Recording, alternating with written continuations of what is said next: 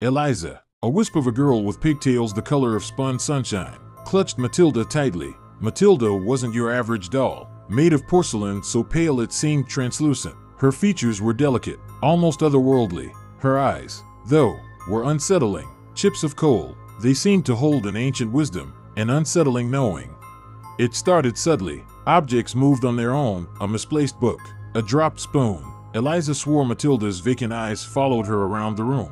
Her parents, John and Amelia, dismissed it as a child's overactive imagination, but the occurrences escalated. The lights flickered ominously, whispers danced in the dead of night, and cold spots materialized near Matilda.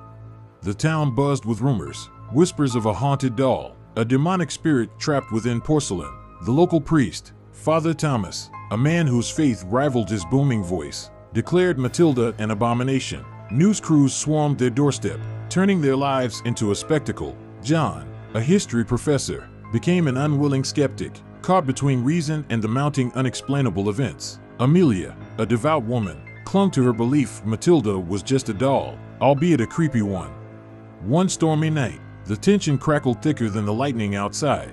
John, working late, heard a blood-curdling scream. He raced to Eliza's room to find her trembling, pointing at Matilda. The doll, perched on the rocking chair, was rocking back and forth, a chilling melody emanating from its hollow body. The music, atonal and discordant, sent shivers down John's spine. As abruptly as it began, the music stopped, the rocking ceased, and Matilda lay inert.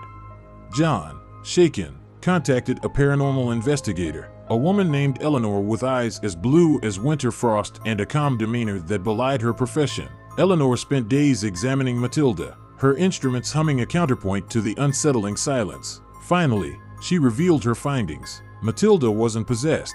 She was an amplifier, a conduit for residual energy, a sorrowful echo of a little girl who once lived in the house. A girl named Matilda, who died tragically years ago. The revelation brought a wave of relief and sadness. John and Amelia held a small ceremony, a goodbye to the spectral child and a promise to keep her memory alive. Matilda, once a source of fear, now sat peacefully on Eliza's shelf, a silent reminder of a life lost and the power of the unseen. The controversy died down, replaced by a quieter unease. The townsfolk never forgot the haunted doll, a constant murmur beneath the surface of normalcy. But for the Evans family, Matilda remained a chilling enigma, a whisper from the past forever etched in porcelain.